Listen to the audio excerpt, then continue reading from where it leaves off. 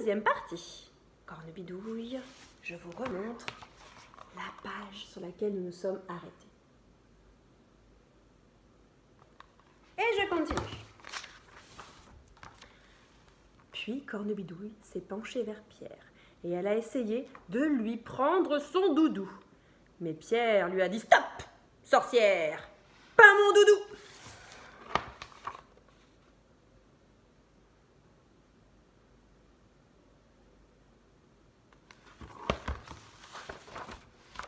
Ah ah ah Tu fais moi le fier, hein Eh bien, si tu ne manges pas ta soupe, Pierre, je mange ton doudou Mais sorcière, j'ai caché ma cuillère, répond Pierre.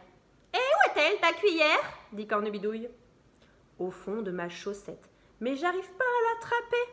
Il faudrait que quelqu'un de vraiment, vraiment petit puisse m'aider pour aller la chercher. De petit? Non d'Awistiti D'accord, dit Cornebidouille. Allons-y Et Cornebidouille a commencé à rétrécir, à rétrécir, à rétrécir, à rétrécir. Mais, mais je ne vois rien. Elle doit être tout au fond. Foi de Cornebidouille Elle ne m'échappera pas, cette cuillère.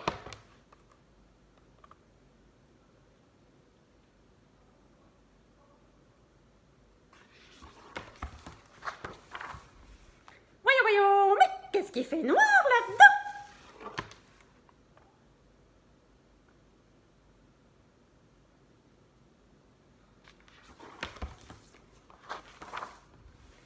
Caramels mous, mais où est-elle cette cuillère?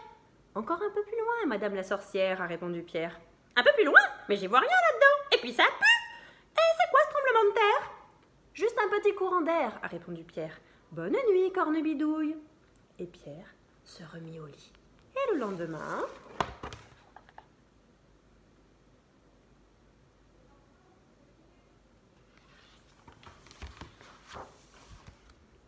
Papa dit Pierre, mange ta soupe. Non, je veux pas.